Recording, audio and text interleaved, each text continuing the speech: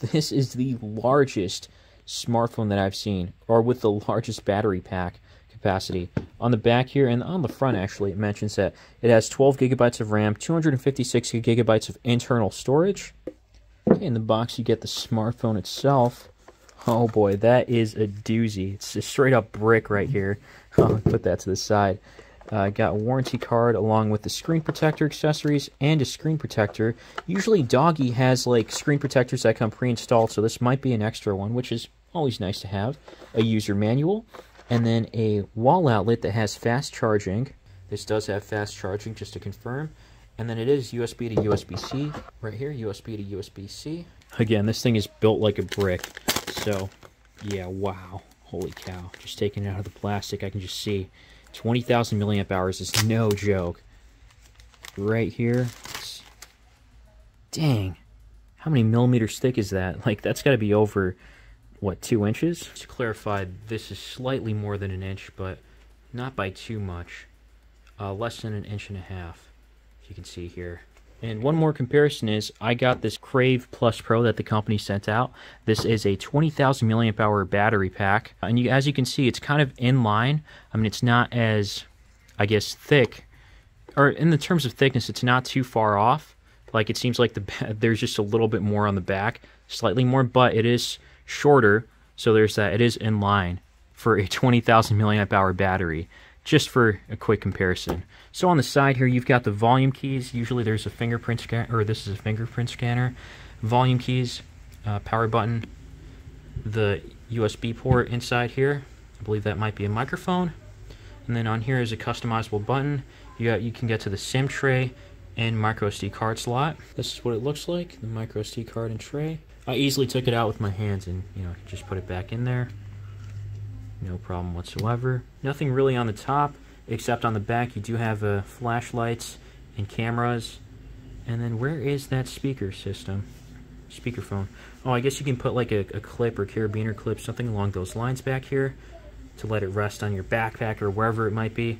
Speakers are front facing, and that is a great sign. I always love to see that and they might i think they might sound a little tinny because i tried out a couple other Doogee phones and they were tinny but front facing is better than back or to the side. And i can also tell that after taking this out uh, there is a screen protector that is pre-installed.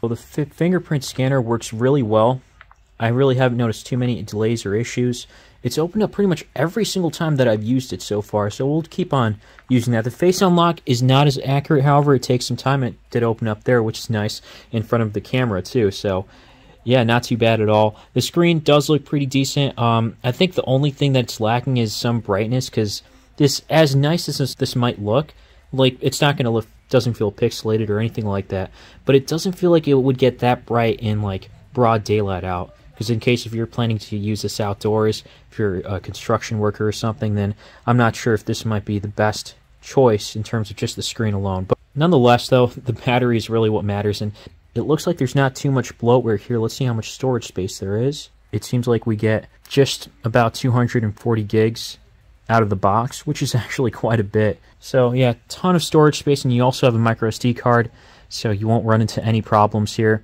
You can see more of the information here along with the Android version. It's 12. Let's see how the camera looks. Doesn't look like it's anything too impressive, but just okay. It's actually not as bad as I, bad as I thought it was. Okay, that's all right. And then front-facing camera.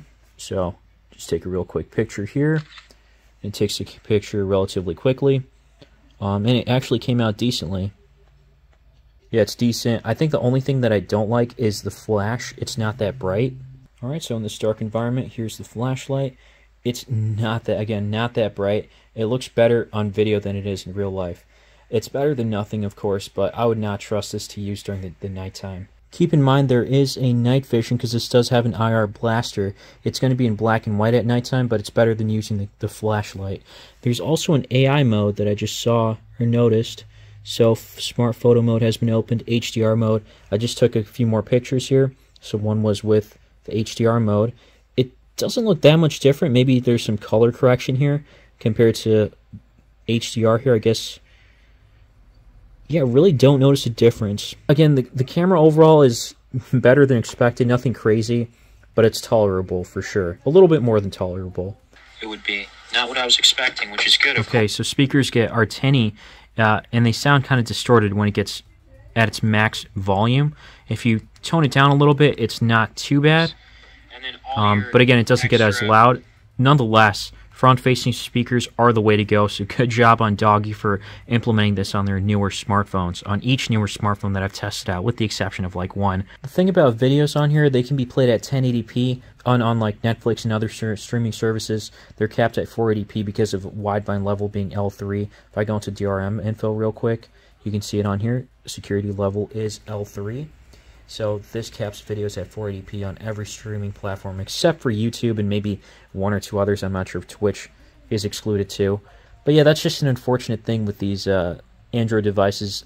A, a, good amount of them tend to have a Widevine level of L3, not just Doogee. But I wish they implemented that hopefully soon.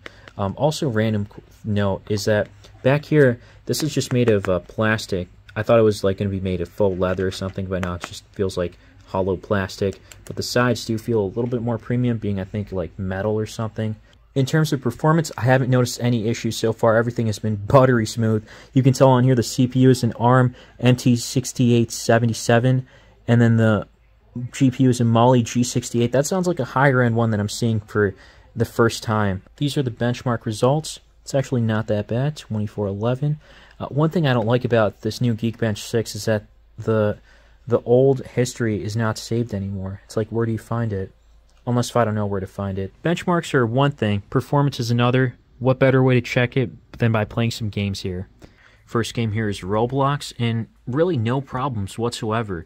I upped the ante by putting the graphics set to max. And yeah, really, there's maybe a slight frame rate drop here or there, but again, nothing crazy. Everything works really well. Next game here is RuneScape, not old school RuneScape, but the actual, like I think the latest one, whatever they call it. And there are some, I mean, it's not completely smooth, but it runs really well, better than from what I've seen at least.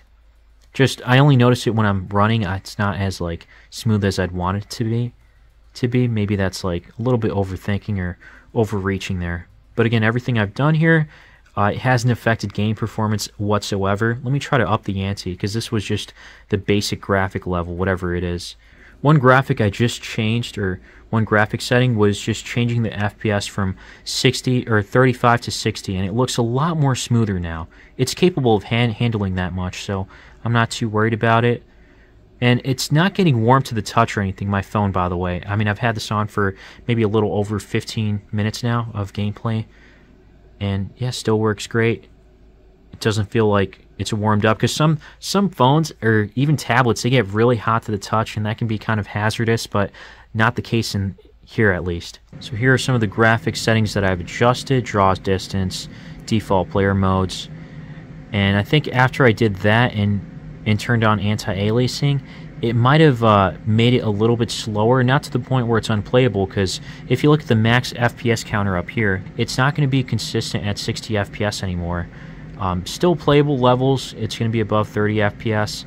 You might notice some hiccups here and there, and then you're going to notice some issues, especially when you uh, look around and it goes inside of a house. That's when I started to notice a little bit more uh, stuttering and lag. But nonetheless, this is definitely playable. I'm really impressed with this phone that it can pull out a lot of this stuff. Granted, you can't max out everything here and still get 60 FPS, but this is still nice for what it's capable of.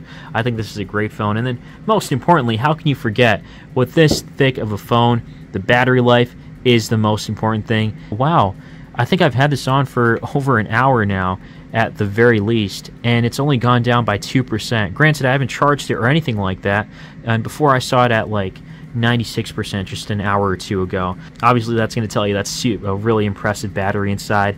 Uh, feels like it might take a while to recharge, but again, you do have a fast charging cable and uh, outlet. I did do an extensive video playback test back and forth starting around June 4th in the afternoon time around 3 o'clock, and I had the brightness set to around 50 to 60 percent with 100% brightness, of course, and it lasted until June 7th with uh, 5% left at 5:46 p.m. Granted, the videos it's still working. It's still at like what 4% or 5% right now, which is quite impressive. 4%. It would have lasted even longer if I turned on battery saver.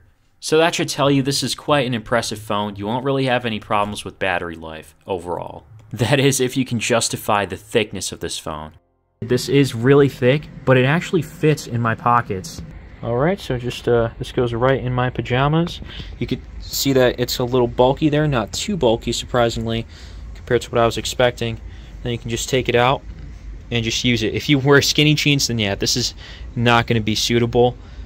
But other than that, yeah, everything's great on this. Performance was excellent. There is a cheaper alternative that Doogee sells called the S100 Pro. I think it's like $100 cheaper at least, $1 to $200. And it might have a slightly lower CPU or GPU, but it has a 22,000 milliamp hour battery. So if the battery life is solely what you're looking for, then I would consider that over this one. But let me know what you guys think in the comments down below. And leave a like if you found this video helpful. And if you want to see more stuff like this, let me know. As always, thanks for watching.